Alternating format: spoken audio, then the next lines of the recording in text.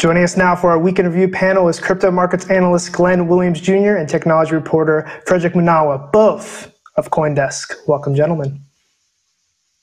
Welcome, George. Well, good to see you. Yeah. Thanks, George. No, this is this is my show, Glenn. That's right. My show. no problem. Welcome to my show.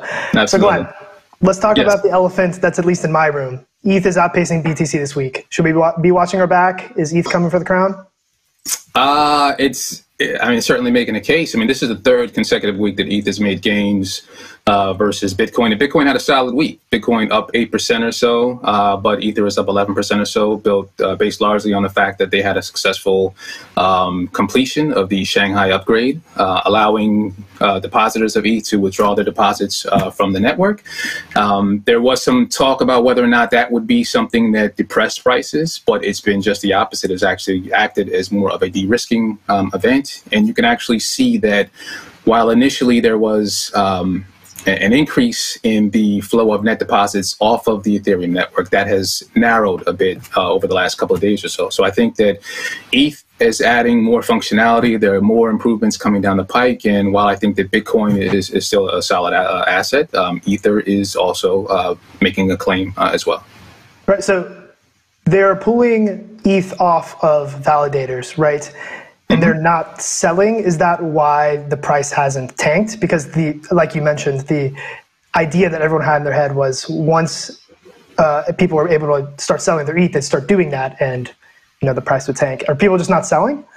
That would be my take. I mean, there, there are some who are selling. There are some institutions, I believe, that have to sell because Kraken had to get rid of their uh, their staking um, service. So you do have that. But by the same token, even if you look at the amount of uh, ETH stakers over time, I guess since 2021 or so. That's been steadily increasing. So, from my vantage point, if there were going to be a rush to the exits um, once the upgrade was completed, you would have seen that decrease over time. So I do believe that while there are institutions who are selling, and, and also individuals who are just selling because they want to reap uh, the rewards that they have that, it, that they've uh, earned, uh, there's still some buying, and I think that a lot of people are seeing this as an opportunity to stake and still uh, maintain full custody um, and not have to worry about the uh, the lockup time.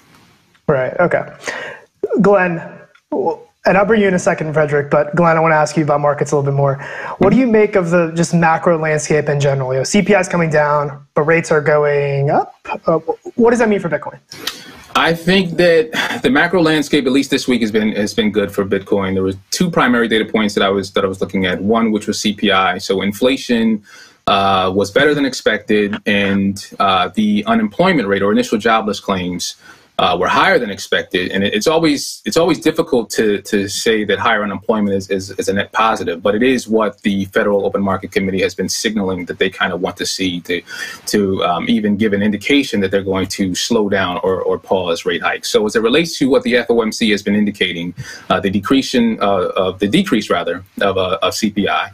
Uh, and the slight uptake in uh, jobless claims indicates that things are going in the right direction. Uh, Bitcoin being a risk asset is has, has benefited from that in my view. So to that, I want to ask a question I've been asking a lot of people about risk. Mm-hmm. Bitcoin's risk profile. Risk on, risk off. Doesn't feel right to me. I go with risk whatever, but what would you call it? Would you still call it a risk on asset? Uh, yes, to a certain extent, it, it, it certainly is a risk asset. I, I, think that a lot of people are drawn to Bitcoin because of the the potential um, for alpha, but it's a unique asset because there, there's a risk off component as it relates to uh, fiat uh, currency.